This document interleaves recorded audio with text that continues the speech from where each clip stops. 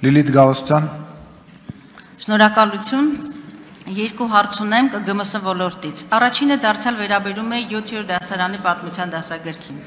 Օրերս բնորեն ՀԿ-ն այդ դասագրքի առնչությամբ հրապարակել է ՀՀ Գիտությունների ազգային ակադեմիան, ԵՊՀ-ն եւ Մանկավարժական համալսարանը ներկայացնող 20-ից ավելի ծանրը կշիռ պատմաբանների, այդ թվում ակադեմիկոս եւ դոկտորներ, մասնագիտական եզրակացությունը իսկ հաստատված գիտական հավելվածով։ Մասնավորապես արձանագրելով, որ դասագիրքը ունի մեթոդաբանական, գիտական, մանկավարժական եւ փորձագիտական համալիր խնդիրներ, չի բավարարում հանրակրթական դպրոց ներմուծելու անհրաժեշտ պայմանները։ Ոստի խնդրում են կասեցնել դասագրքի կիրառումը։ Հիշեցնեմ, որ սա ակադեմիական եւ մանկավարժական հանրույթի միակ անդրադարձը չէ։ Հարց. Ինչ քայլեր եւ գործողություններ են հաջորդելու այս եզրակացությանը եւ նախորդած քննադատություններին չեք պատկերացնում կամ չեք պատրաստվում արդյոք հանդիպել տվյալ գիտնականներին եւ զուտ մասնագիտական դաշտում քննարկել խնդիրը։ Եվ երկրորդ հարցը. Կառավարության հոկտեմբերի 12-ի որոշումով ուսման վարձի լրիվ կամ մասնակի փոխհատուցում է տրամադրվում միջին մասնագիտական եւ բարձրագույն ուսումնական հաստատություններում սովորող Արցախահայ ուսանողներին, ովքեր բռնի տեղահանման են ենթարկվել 23 թվականի սեպտեմբերի 19-ից հետո։ Ըստ էության կա շրջափակման ընթացքում ռուս խաղապահների աջակցությամբ սահմանահատած եւ այս ուսումնական տարում ուսանող դարձած սովորողների ոչ մեծ մի խումբ, որը ունի բռնի տեղահանված կարգավիճակ իր բոլոր հետևանքներով, սակայն նրանց վրա չեն տարածում կառավարության ուրեմն սահմանած հնարավորությունները։ Արդյոք կառավարությունը տվյալ որոշումը լրացնելու եւ շահառուների ցանկը մեծացնելու խնդիր չի տեսնում կամ իր քաղաքականության մեջ փոփոխություններ իրականացնելու հնարավորություն։ Շնորհակալություն։ Շնորհակալություն հարցին կպատասխանի Ժաննա Անդրեասյանը, համեցեք Տիկին Անդրեասյան։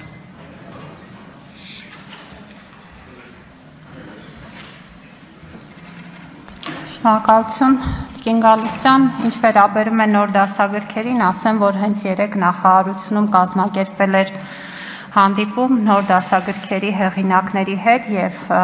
մենք քննարկում էինք այն արձագանքները, որոնք ստացվել են դպրոցներից, ուսուցիչներից, ինչպես նաեւ տարբեր մասնագիտական շրջանակներից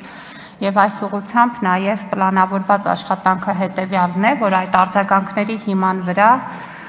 Անհրաժեշտ լրամշակումները կարվեն, թե տեխնիկական, թե բովանդակային, որոնց կարիքը կլինի եւ դրանք ամբողջությամբ երկրորդ կիսամյակից հասանելի կլինեն էլեկտրոնային տարբերակով,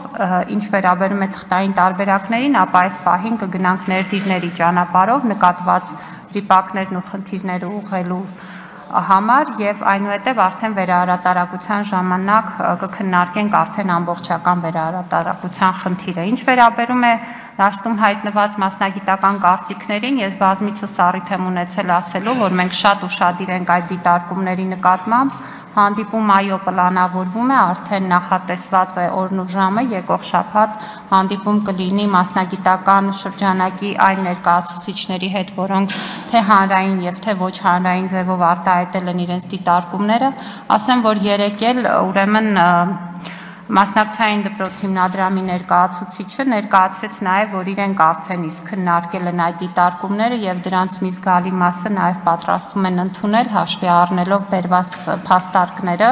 Ես կարծում եմ, որ սա այն բնականon ճանապարհն է, որով պիտի գնանք։ Ինչ վերաբերում է ավելի գլոբալ եւ սկզբունքային հարցերին, ապա նաև նշել եմ, որ այստեղ արդեն այլ դրամաբանության մեջ ենք գործում։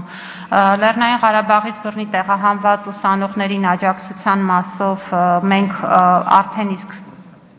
փոխանցել են գումարները եւ համապատասխան վճարումները արվում են։ Շահառուների շրջանակը անպայմանորեն ընդլայնվելու է։ Եկող շաբաթ կարծում եմ, որ կհասցնենք կառավարության նիստում ունենալ արդեն նոր որոշում, որով նաեւ փոխհատուցում կտրամադրվի այն ուսանողներին, որոնք սովորում էին մեր բուհերում, սակայն նրանց համար վճարում էին Լեռնային Ղարաբաղի իշխանությունները։ Սա մի խումբ էր, որ էլի դուրս է այդ որոշման շրջանակից։ Ինչ վերաբերում է այստեղ բուհերի ուսանողներին եւ քոլեջների ուսանողներին, որոնց ընտանիքները բռնի տեղահանվել են եւ նրանք ֆինանսական դժվարություններ ունեն ուսման վարձը վճարելու, այս մասով նույնպես աշխատում ենք եւ շահառուների շրջանակը կընդլայնենք, բայց պետք է նշեմ, որ ունենք նաև բավականին մեծ համագործակցության շրջանակ ու ֆինանսական այդ աջակցությունը կտրամադրվի ոչ միայն պետության կողմից, այլ նաև մեր գործընկերների, որոնք պատրաստակամություն ունեն մասնակցել այս process-ին։